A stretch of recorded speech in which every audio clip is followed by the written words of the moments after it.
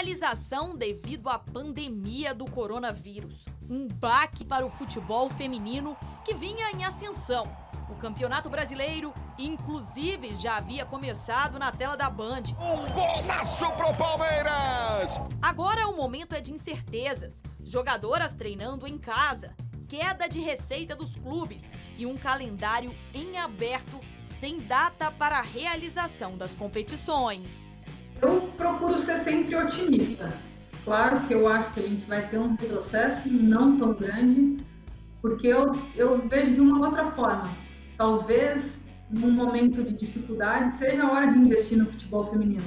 Até porque é, é uma categoria que os investimentos são muito mais baixos. No Palmeiras Feminino não houve redução de salários nem perda de patrocinadores. Mas a realidade de outros clubes é bem diferente. Equipes como, por exemplo, Grêmio, Corinthians e Atlético Mineiro diminuíram o salário das atletas em 25%. Na equipe mineira, inclusive, a base foi extinta, mesmo com o subsídio dado pela CBF, que disponibilizou 120 mil reais para equipes da Série A1 e 50 mil para a da A2.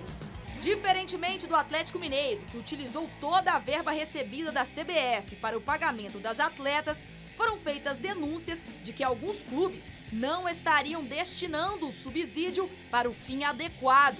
Logo que recebemos informações através da imprensa de denúncias de algumas atletas de que esse pagamento não teria sido feito, imediatamente iniciamos um processo de monitoramento, de supervisão e de cobrança desses clubes. E em um cenário de incertezas, o importante é se reinventar para dar suporte para que as equipes consigam manter com qualidade o que agora possuem em mãos.